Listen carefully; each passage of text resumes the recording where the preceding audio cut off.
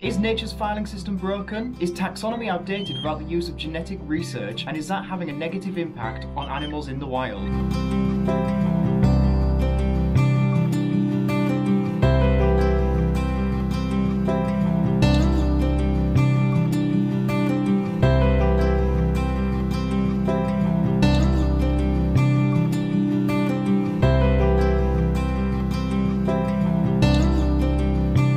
Many different types of kite all around the world, and here in the UK we have the red kite, which is the largest species of kite, and they're so easy to identify by that beautiful big V that they have in the back of their tail. Yellow-billed kites are an African species of bird of prey, and the kites are an incredible group of birds. They're called kites because of their wings and the way that they fly. Kites have got a very low wing loading, so what the wing loading is, is it is the surface area of the wing in relation to the size and weight of the bird's body. Kites have got a tiny little body, a little head and little feet, and then this really big tail and huge long broad wings. So their wings really don't have to do much work to put their body up in the air. The wing loading also works in relation with the stall speed of the bird, meaning the lower the wing loading, the slower the bird can fly before stalling. And so kites can sort of really effortlessly, slowly just glide around without falling out of the air and without putting much effort in. The kites also hold their wings on a dihedral wing angle. This is where they hold their wings up higher than their body. The opposite to this would be an anhedral wing angle, and that's where the wings are held below the body. Having a dihedral wing angle means that you've got incredibly stable flight, and so they can slowly and effortlessly glide around, but they're also really stable whilst up in the air. And this also makes them really agile. It means they can really throw themselves around turn tight corners, roll themselves in the air, and as soon as they get those wings back open again, they become really stable and can continue flying. But this comes at a price, and with the kites, they've got really tiny feet for the size of their body, so they can't take large prey. The largest prey that a kite will take is probably a small rodent or lizard. And the yellow-billed kites, a lot of their diet is made up of insects, particularly flying insects.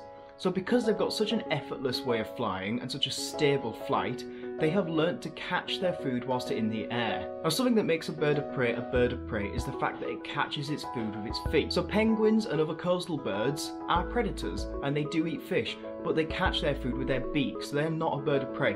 Whereas the kites, they still catch their food with their feet. So what the kites will do is they will fly into something like a swarm of locusts, hundreds and thousands of flying insects all around, and they'll grab them with their feet because they are a bird of prey and they will move them to their beak while still flying around and it means that they don't have to land and they can just pick them up while still flying around and it's called feeding on the wing. I have a yellow-billed kite and his name is Wilbur and he is a beautiful display bird.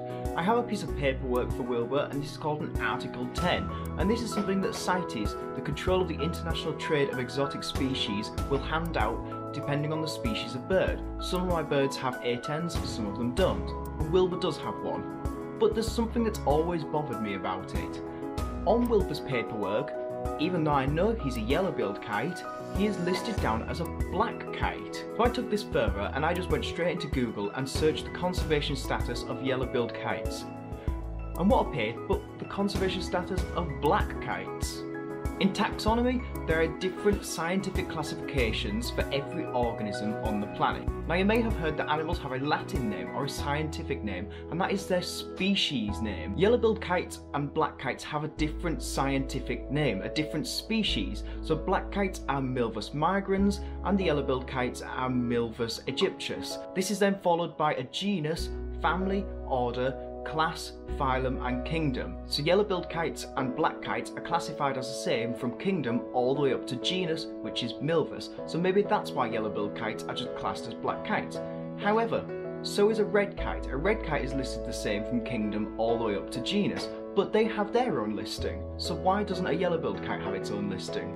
So maybe they are the same. If you look up black kites on Google Images, you'll see many results of birds that look very much like Wilbur here, but that's partly to do with Wilbur's age. So Wilbur is only a year old and he is a sub-adult. It's really common for birds to change plumage from their juvenile to their adult, so Wilbur's sort of in that transitioning period. Wilbur last year, in his first year, did look very much like a black kite. He had loads of lovely bright brown feathers all mottled into his plumage, and he had a really black beak.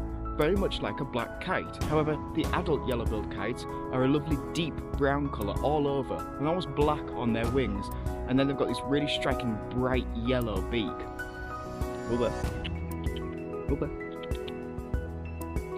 A study was published in 2005 called Prioritising Species Conservation, and this looked at several different types of kite around the world. It's well known and accepted that black kites and red kites are two different species, but this study actually found through genetic research that the yellow-billed kites are as distant to black kites as black kites are to red kites. If you search the IUCN, and that's the International Union for the Conservation of Nature, and they list the conservation status of many different species of animals, you'll find that yellow-billed kites were only just added to the list this year. So why did it take them so long to add them to the list?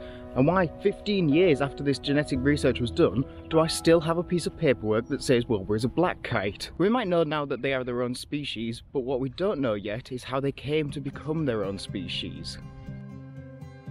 There are several different kinds of speciation, and looking at the distribution of black kites and yellow-billed kites, it's difficult to tell what kind of speciation occurred. However, evidence shows it's likely to be a form of geographic speciation. The three main types of geographic speciation is allopatric, parapatric and sympatric speciation. Allopatric speciation, originally called the dumbbell model, is when a population is split and are geographically isolated from each other. Geographic speciation can be a result of various things such as the movements of continents, the formations of mountains, or a body of water. The separated populations then evolve in different ways due to different selective pressures until there are two separate species. Parapatric speciation is where a new species forms from an isolated population adjacent to the main population. It is sometimes difficult to distinguish between allopatric and parapatric speciation. Sympatric speciation is when a new species evolves in the same geographical region as the existing species, forming two separate species occupying the same area or an overlapping area. So why does it matter? A paper published in 2018 called Raptor Population Trends of Northern Botswana showed the changes in numbers of 29 raptor species over the last 20 years. Yellow-billed kites were one of the birds in this study and they showed a decrease of 28% over the last 20 years. Only two of the species of bird in the study of 29 showed an increase and these were both snake eagles and as their name suggests have a diet primarily made up of snakes. There are several threats to the yellow-billed kite including human housing, logging, habitat destruction, trapping and hunting, and probably the most likely cause, poisoning. Despite all of this, the conservation actions for the yellow-billed kite are virtually non-existent. There is no action recovery plan, and there is no systematic monitoring scheme. Their only saving grace is the fact that they are included in international legislation. That means that without key pieces of research, such as the genetic study done in 2005, and the surveys done between 1995 and 2018, the species of yellow-billed kite could fall into extinction and nobody would even notice as long as black kites were doing okay.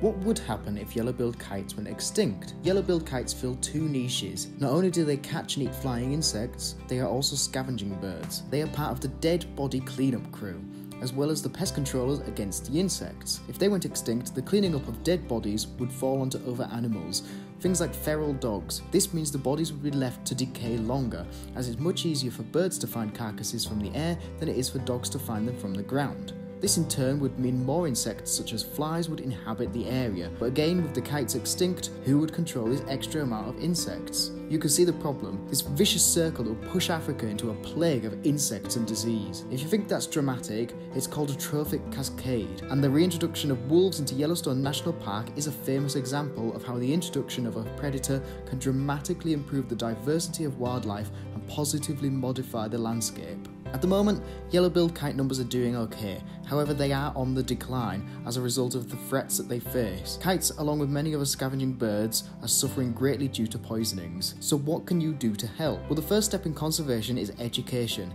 so just by watching this video and making yourself aware you're already on the right track. If you would really like to help, there are several vulture charities and bird of prey centres that are doing good work against this issue. Otherwise, you can subscribe and keep an eye out for a future video about the conservation of vultures and the fight against diclofenac. So there we have it. As you might have been able to tell, this is quite a passionate subject for me, and the yellow-billed kites, like Wilbur here, are my favourite animals. If you have enjoyed watching this video and would like to see more conservation slash falcon related videos, then please subscribe to the channel. And that's all for now. Thank you for watching.